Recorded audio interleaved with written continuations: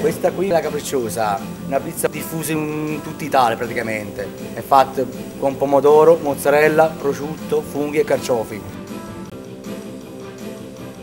Alcuni posti ci mettono anche delle acciughe, alcuni ci mettono le olive, insomma la modificano un pochettino al loro piacimento.